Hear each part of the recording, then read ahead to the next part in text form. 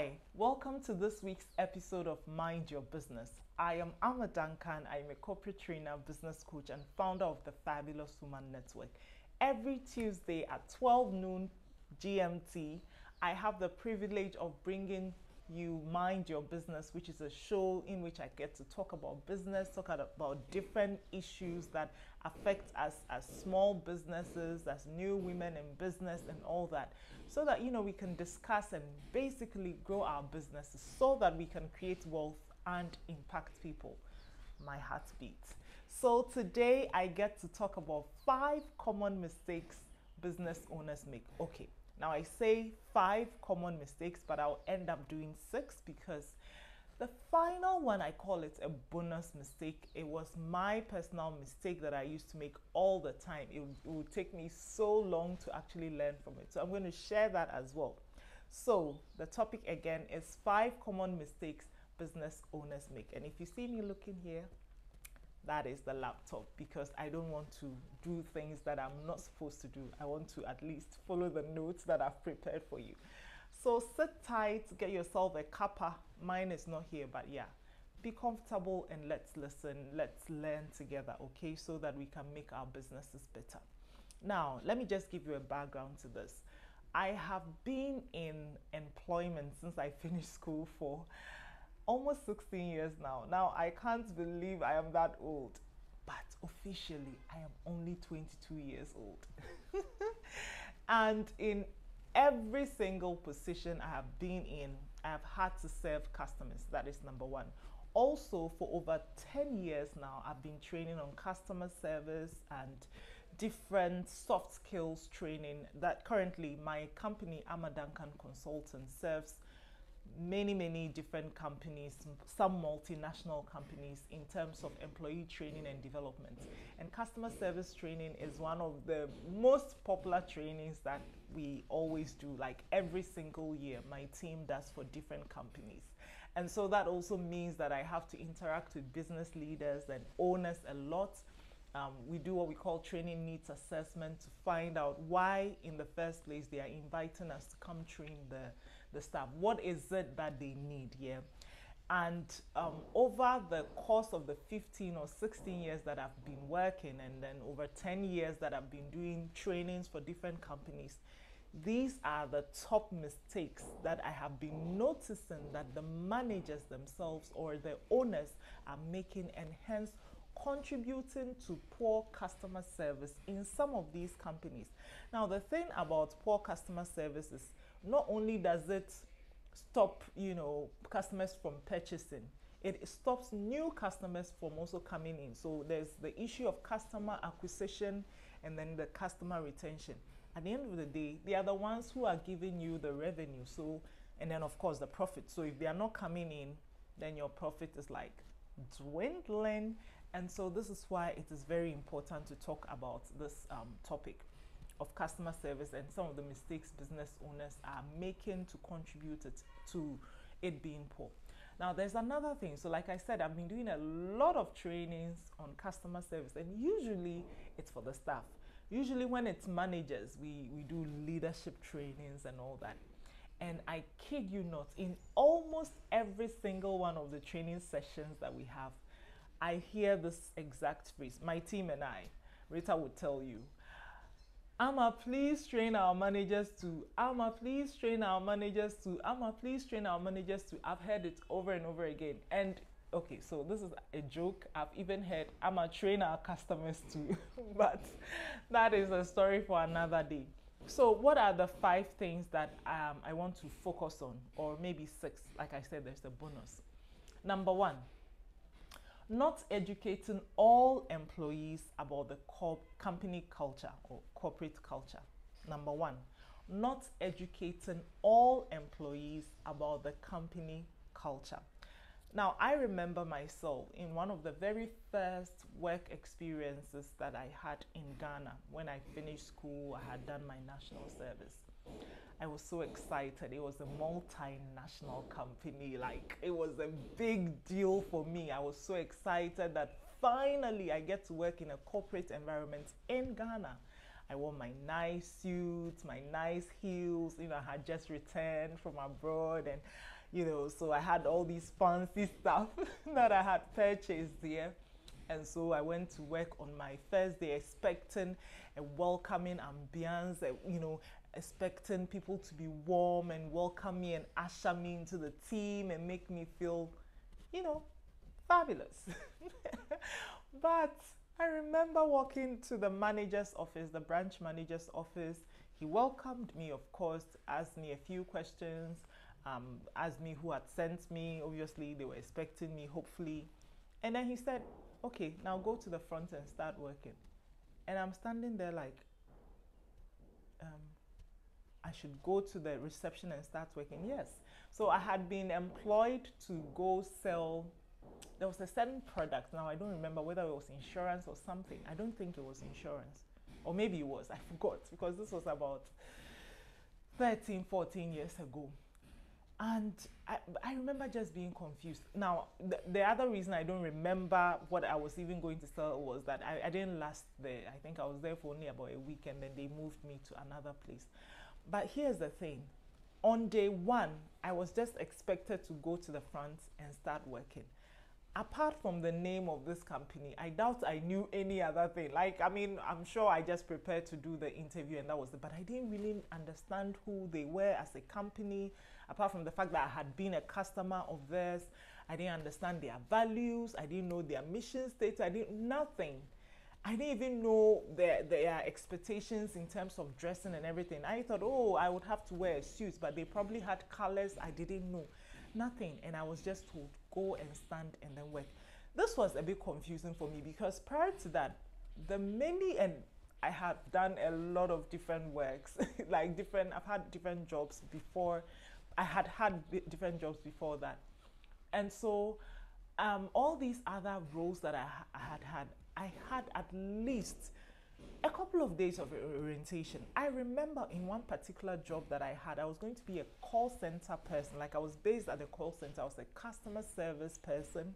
I was trained for six weeks before being allowed to come and start speaking to insurance brokers. So, for me to go to an environment in which I was just told that day one, go and then work it was shocking for me. I didn't even know. Like I was just praying, oh my God, what what if I go and meet um, a customer and they ask me something I don't know?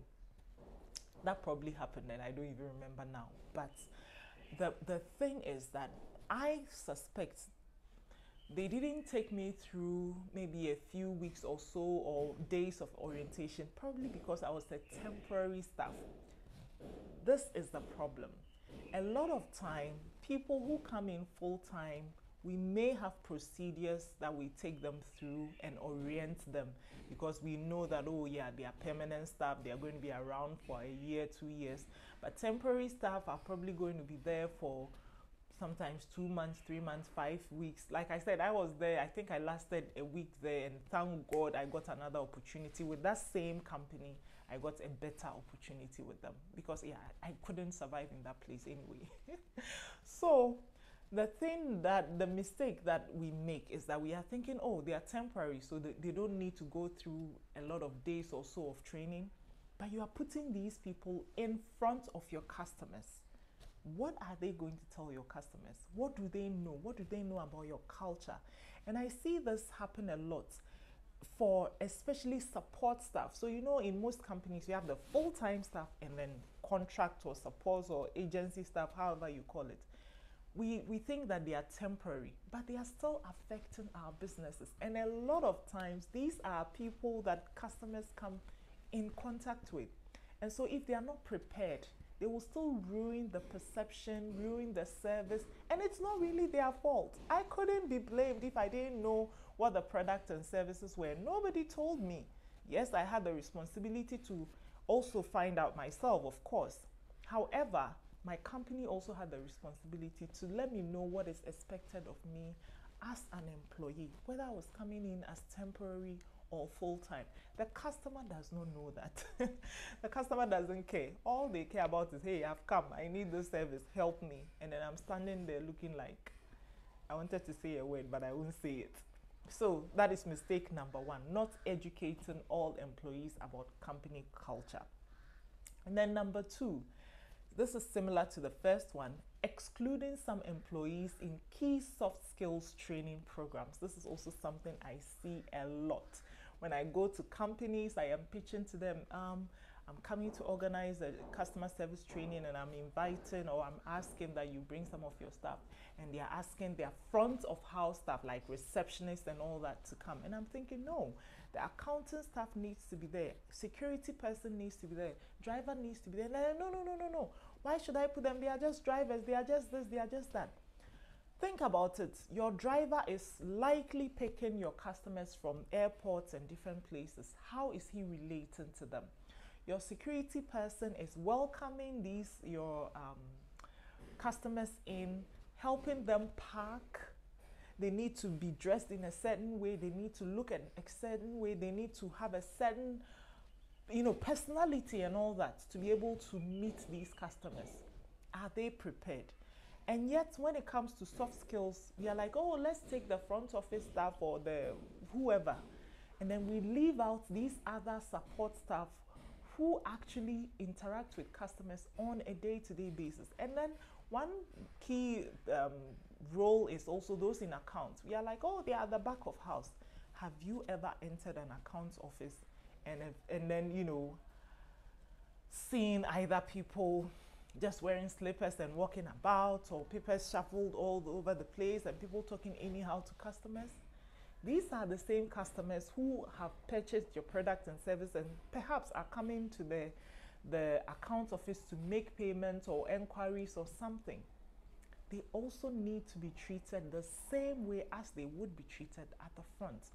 People at the back, the way they dress and everything, it needs to be in sync with the company culture. So taking out a group a group of people and then giving them that soft skills and then leaving the rest and saying, oh, these people don't interact with customers. So let me not put them there. It's actually sabotaging your company. And it happens a lot. I see it a lot of times. And for some companies, we are able to you know encourage the managers and owners to allow the entire team including managers to be part of the trainings but sometimes we have to maybe do a separate one for managers separate one for staff sometimes they're like, nah, if it's technical skills training, they are happy to send everybody on.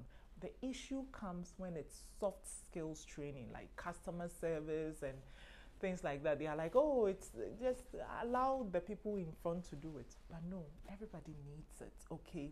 So that is mistake number two, excluding some employees in soft skills training programs. Then the third one is not leading by example not leading by example. That is the leader themselves. You know, there's this saying, do as I say and not as I do. well, we are human beings.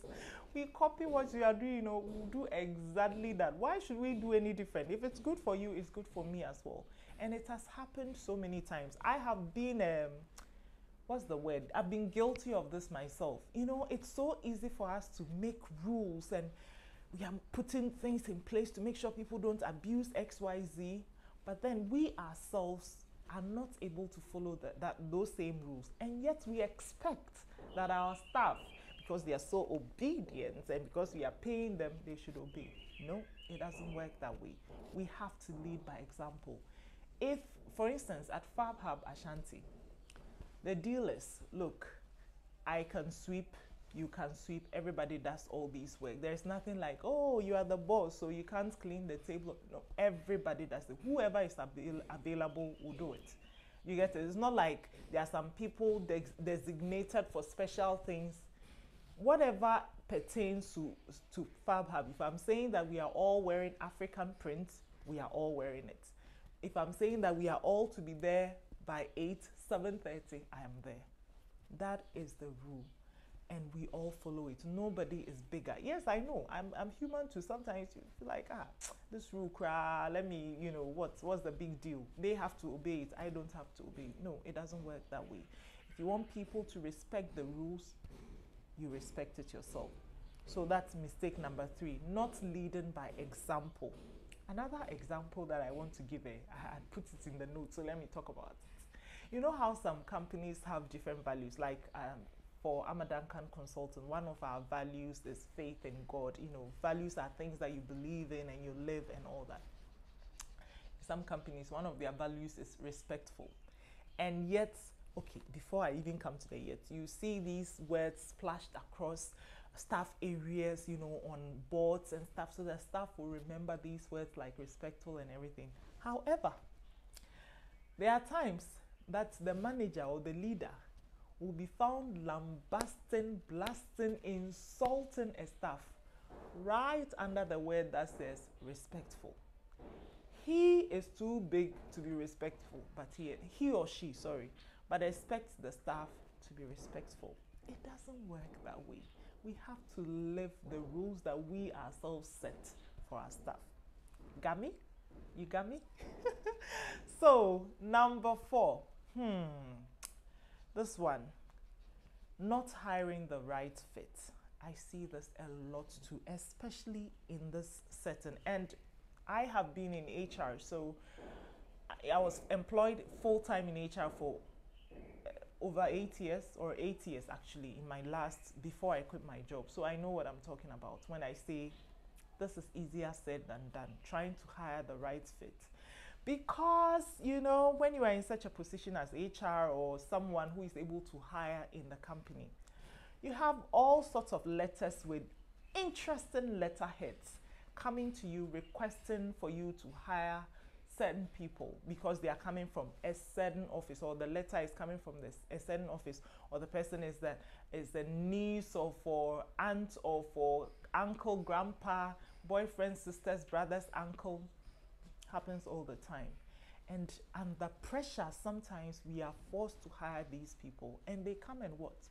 Oh my uncle is the this or my aunt is the that or this is the and people are not fit for roles certain roles but we put them there because somebody has given us pressure to hire them that is one of the biggest challenges that i faced i mean in our case because it was really a super corporate organization we had ways around it but there were times that charlie it wasn't that easy one of my mentors Joseph Che Ankra, Mr. Joseph Che Ankra, he's written lots of different books. And one of the things he said to me was, Ama, don't hire someone you can't fire. And he used this example of your mother in law. If you know you can't fire your mother in law, don't hire them because sometimes we hire people and they are not fit. First of all, the whole interview thing, as the traditional interviews we've been doing, is not working. People will write great CVs, come and convince you. If they can talk like me, they will out talk you and then you hire them only to put them on the job and realize they are not fit. Sometimes three months, two months, one month, even a week into the job, we know that the person is not fit. But we are stuck. We cannot fire them either because they are not fireable or we don't know what to do, you know, we, we, and then we are just stuck. Is that fair to the business? we have to think about the business, sustaining the business, making it grow. So, by making the mistake in the first place of not hiring the right person, we are setting ourselves for big time wahala. So, don't do it. I know it's easier said than done, but you have to find a way. If there's another place, and sometimes the issue is even where you put them. Maybe the person doesn't have a warm personality and in you in the kind of company that you are people need to be warm because remember the customer is holding your cash you need to be nice to them you need to help them find the, the right products and services you need to engage them and you've gone to hire somebody who doesn't like talking to people just because somebody said employ them not fair in my son's voice not fair so please not hiring the right fit is definitely one of the common mistakes, and I hope we are watching these. It's not helping our businesses. The fifth point, hmm, let me swallow for this one. The fifth point is not giving honest feedback to staff. This is a performance management issue. First of all, do we even have a performance management system in place? And if I use these three big words, performance management system, I don't mean anything ginormous.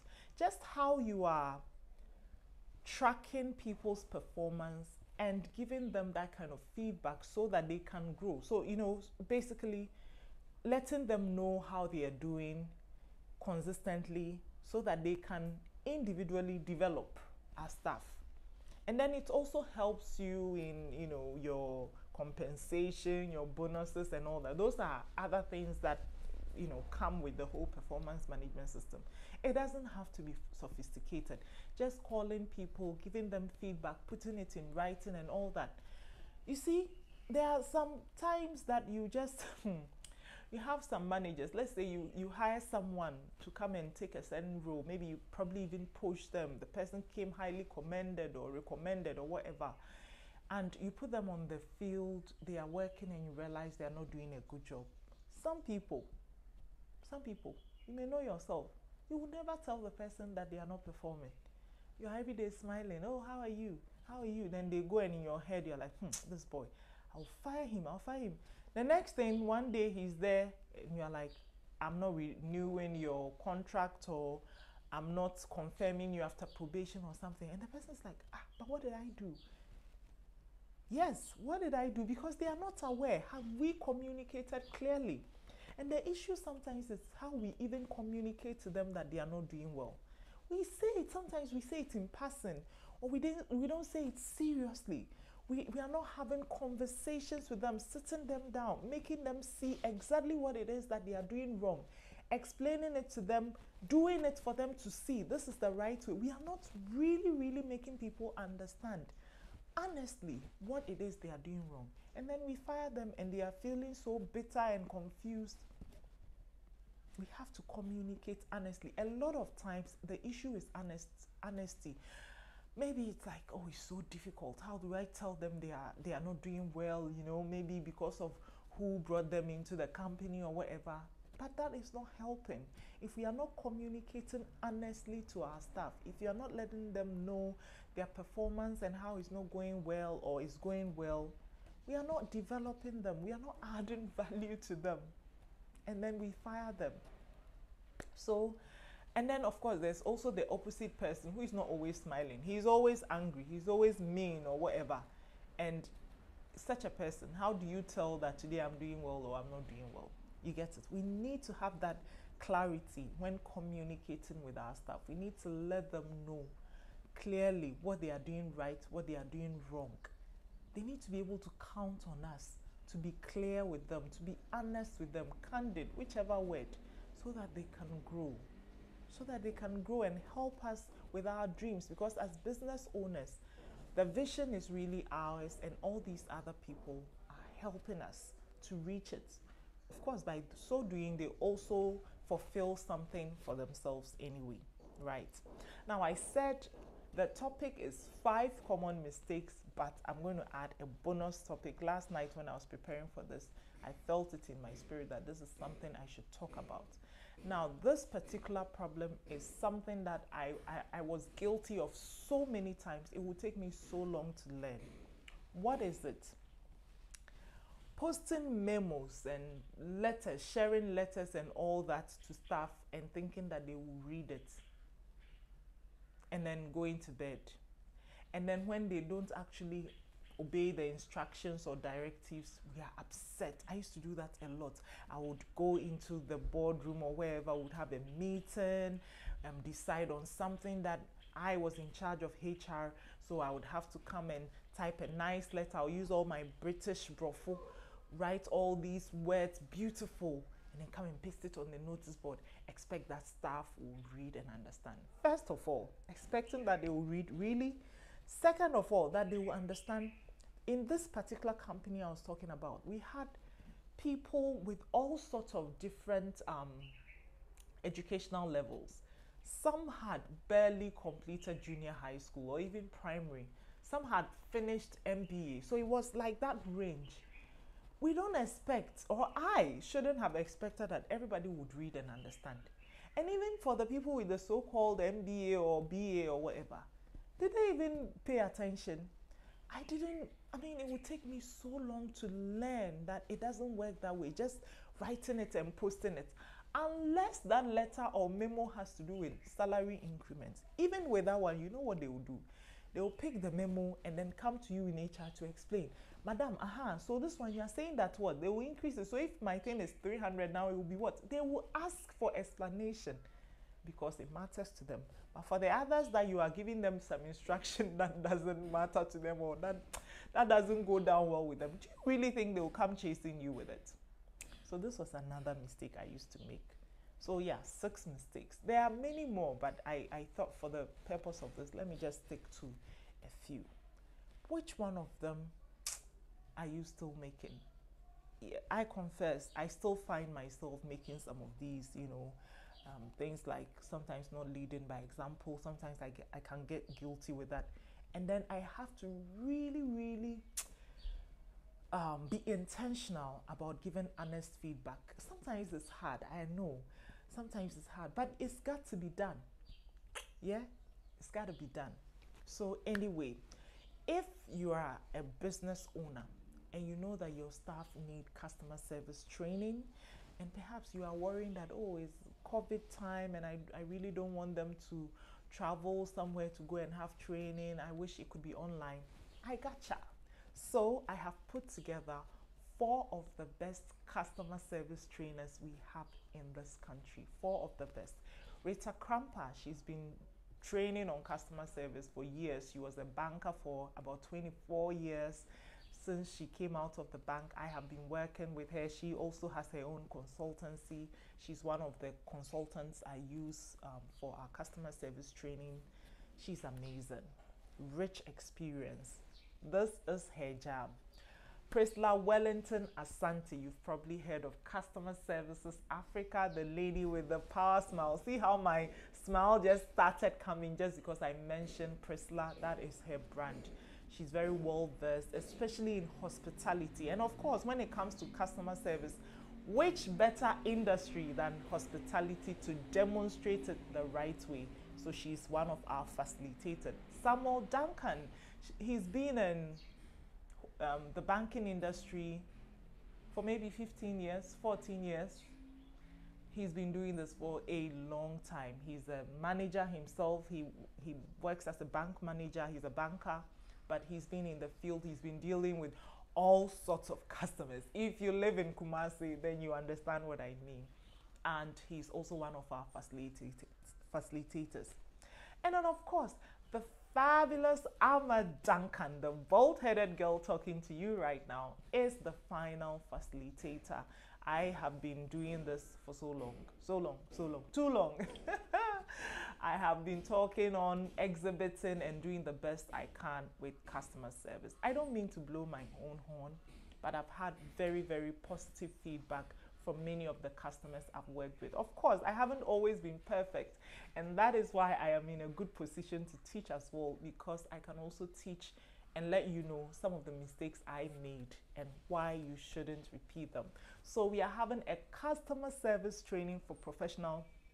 This is actually a training we've been holding this year alone. We've had two of such at FabHub Ashanti, but this time it's going to be virtual so that you, yes, you can be a part of it if you desire to, if you feel that this is something you need, or perhaps for your employees, if this is something that they need, then I encourage you to sign up. The, the, the link, clickable link, is in the bio of wherever you are probably watching this on YouTube. So click on it, or you can call us on plus 233 24625 2330 plus 233 24625 2330 call us and sign up for the customer service training for professionals happening online. If you're a business owner, if you have supervisors you need to train or you need to improve their customer service, um, if you have different staff, it doesn't matter the level as long as they can get access to the computers.